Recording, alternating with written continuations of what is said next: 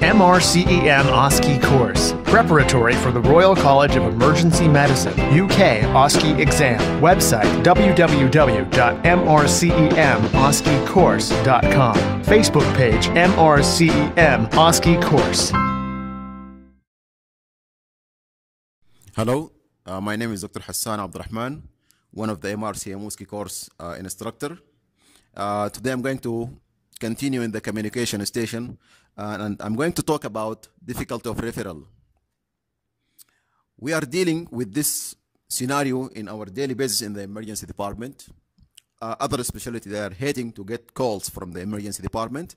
So in such a station, as we mentioned before, you have one minute outside to read your task so here the information given there is vital.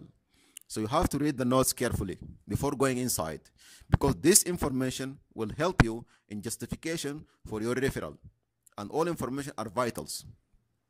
So for example, they might give you a case that elderly, she fell down and after which she became an, uh, immobile and she couldn't move her right side of the hip. She's having right, right side hip pain. So the patient came to the emergency department and there is suspicion or there is a fracture in the right hip. And they will give you all other relative information regarding the case. So here, after you read the notes carefully, you will come inside and you will find the examiner and one doctor sitting inside. That's the accepting doctor. So here you have to greet the examiner and then you have to pick the phone and refer the case. For this purpose, you have to follow systemic approach for referral. We are using the mnemonic SBAR, situation, background, assessment, and recommendation. So before starting, you have to be calm in this station. Why? Because the other doctor will attack you aggressively and he will attack your emergency department aggressively as well. So you have to be calm and you have to follow the systemic approach in your referral. So you pick the phone, introduce yourself, and tell about the position, your position in the emergency department, confirm his identity, and that he's a doctor covering the specific specialty. Ask him politely that you want to refer a case for him, and if he or she have a minute to discuss a case. After that, start with the situation. What is the situation of the patient? Why you want to refer the case? What is the diagnosis? Or what is your query diagnosis for the patient? And then give the background. Background of the patient, this include the age of the patient, gender, and past medical history, if the patient having any medical illness, diabetic, hypertensive, any other medical illness should be included in the background here, including the events itself, which trigger the presentation of the patient to the emergency department. That the patient get fall, or the patient sustain burn, or whatever the cause. Assessment. In the assessment here, this include from the beginning, from the presentation of the patient, vitals of the patient, vitally stable or not, including systemic exam and local examination to the specific area, and what investigation was conducted for the patient. Here also, this is including the radiology or imaging done for the patient, and what type of analgesics, any medication given to the patient.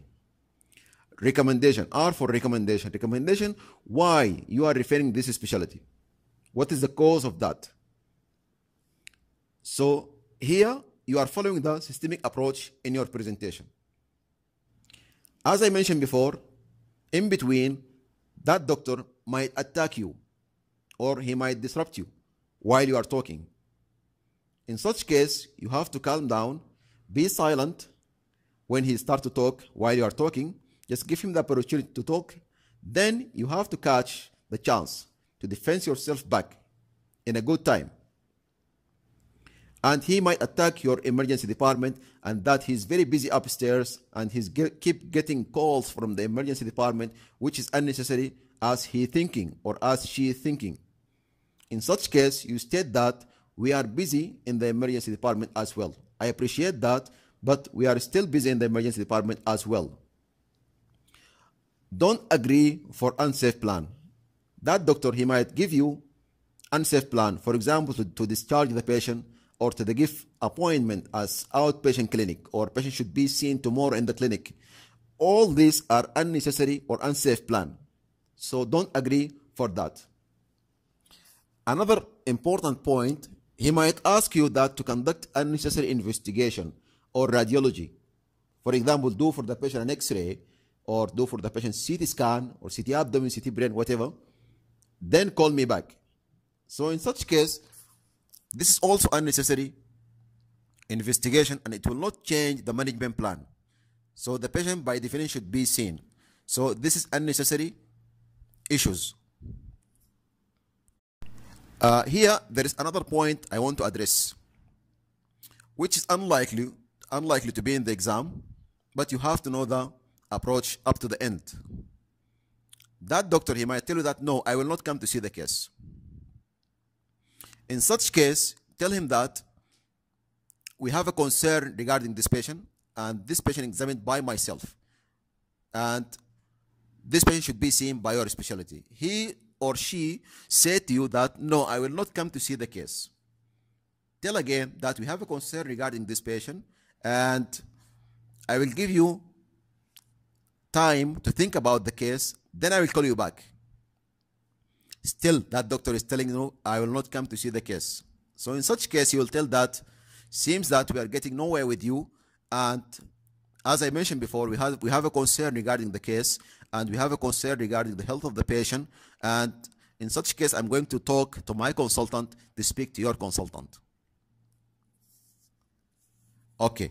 One, one last point he, uh, that, that doctor he might attack you he might say that i came yesterday i i got a call from one of your junior doctor in the emergency department and i was very busy at that time and i came i saw the patient the patient was totally fine and patient is dischargeable so i discharged the patient so you are uh, emergency physician you are wasting my time and every time I'm coming to the emergency, I'm seeing just unnecessary referral and I'm, I'm, discharging the case. Here, you have to state that you are the most senior one in the ED and you examine the patient by yourself.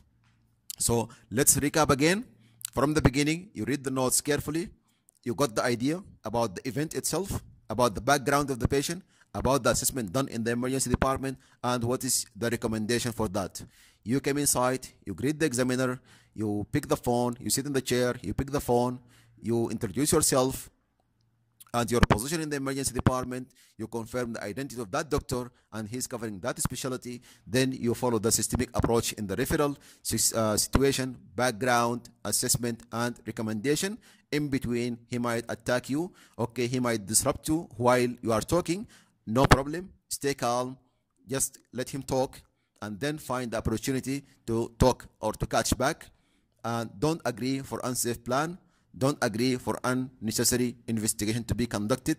And like this you will uh, have a good issue of referral and a good good communication skill. Like this we cover all the aspects related related to the difficulty of referral. And thank you